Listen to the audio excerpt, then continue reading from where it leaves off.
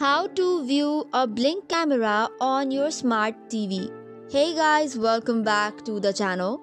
If you would like to view your blink camera on the smart TV, here is how you can get it. First of all, ensure your blink camera is set up and connected to your blink account. You can confirm it via the smartphone application. Then after, plug the Fire TV stick into your TV HDMI port and connect it to the power. After that, you'll have to install the Blink app on the Fire Stick. Navigate to the home screen, select the magnifying search bar and then enter the Blink. Select the Blink home monitor from suggestions, click on download and open the app under your apps and channels.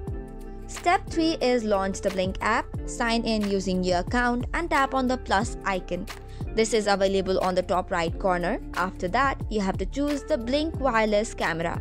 Scan the QR code on the back of the screen or the camera and assign a name to your camera for easy identification.